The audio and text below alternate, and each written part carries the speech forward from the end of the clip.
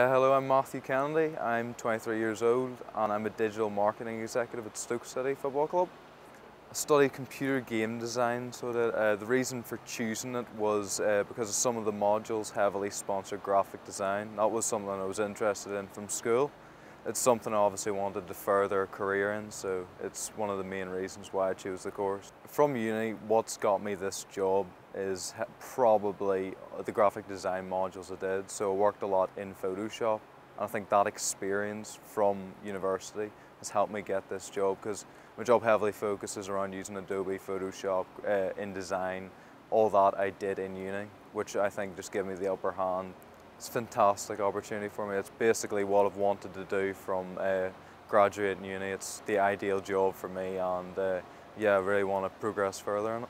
Um, I'm Jack Whitaker, I'm 21 and I'm part of the community media team here at Stoke City. Um, I go to Staffordshire University um, and I'm graduating in, well, a couple of months' time.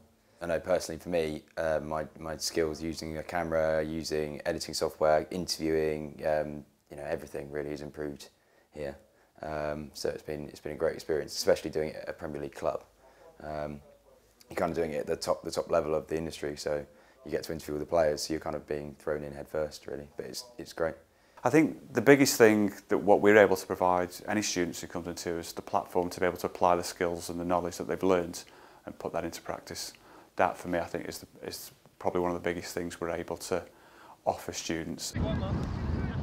I've been here for almost nine years now. I started in my final year at Staff Uni actually. I combined the two. Um, third year of my sports journalism course and four days a week here as well. I was doing graphic design initially, so I had no real background in English apart from GCSE English, which everybody has to do anyway. Uh, so Mitch and, and John Rafferty and Gary Hudson, they all taught me the ropes from the very bottom. They learnt me writing skills, gram grammar, um, how to put features together, how to conduct myself in this sort of environment and how to approach the job as a whole, not to get awe, in awe of players or not to get too starstruck and everything that I can do now is because of the, the footings that they gave me at Staffs Uni.